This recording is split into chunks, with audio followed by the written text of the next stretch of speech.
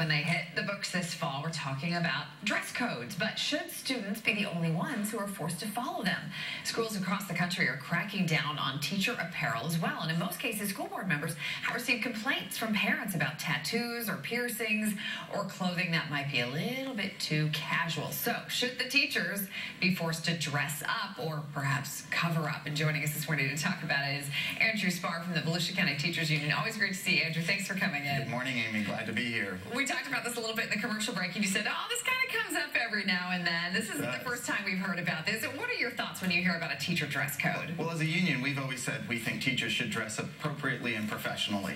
Uh, and, and by we have to remember that a kindergarten teacher who may spend a lot of times on their hands and knees is not going to dress the same as maybe a high school English teacher. A physical education teacher who's outside in the hot sun is not going to dress the same, uh, you know, as a high school chemistry teacher. So we have to remember that it's it's different for everyone. But should there be specific rules like, you know, if you have a piercing in your nose, you got to take it out during school hours, or you can't have a lot of cleavage showing, you know, especially if you work in a middle school, or you know, if you have a big tattoo on your arm and it's got something maybe a little, you know, that's a little off color, it has to be covered. I mean, should there be specific rules, or, or is it too much? Well, I, I think you know, one, you get into the issue of freedom of expression, but the other thing is that, that we have to remember is that in today's world, that it's always changing what's acceptable and what isn't, and it depends on the location where you're at, the school you're teaching at, the, what the standards may be for the community, uh, and it's different. We want our teachers to be comfortable to be able to engage uh, in dialogue and, and to their students and vice versa, but certainly we don't want something to be a distraction from what's going on in the classroom.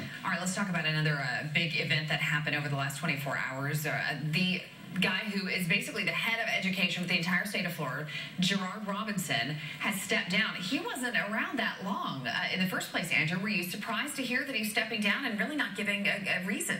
Well, I think uh, most people were surprised that he stepped down uh, so suddenly after just a, about a year in office. Uh, but one of the things that we can say is I think it comes down from the pressure that's coming from the fact that we have a high stakes accountability system in which there has been one error after another. And that uh, from when the writing tests were released, the third grade tests were released, and of course school grades. And this has created an environment when we have high stakes testing, we can't have this happening. I hope the governor will see this as an opportunity to have someone appointed who will work with the parents, the teachers, uh, the school employees, and the communities to ensure that we have a voice uh, in Tallahassee and not just another bureaucrat who's going to push reforms that haven't worked and there's no research or basis behind them.